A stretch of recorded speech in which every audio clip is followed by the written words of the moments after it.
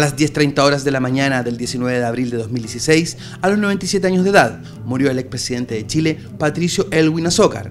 El exmandatario y militante de la democracia cristiana fue el primer presidente electo tras la llegada de la democracia.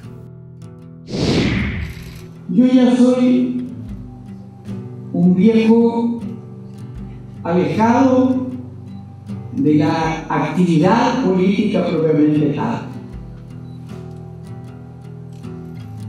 Pero sigo teniendo el entusiasmo que tuve de joven, desde joven, para defender algunos valores que son indispensables para la salud de nuestra patria.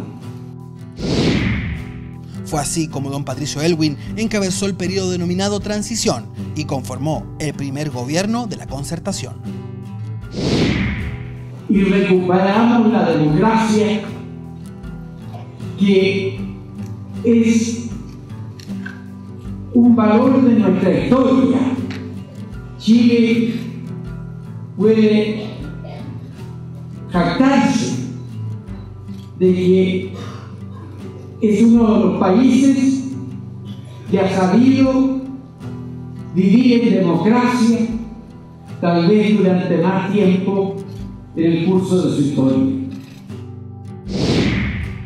Patricio Elwin Azócar fue el primer político que mejor encarna la transición a la democracia en Chile, tanto por encabezar la coalición que se impuso en las urnas, como por ser el presidente de la República que develó ante el país y el mundo la responsabilidad del Estado en las violaciones de los derechos humanos.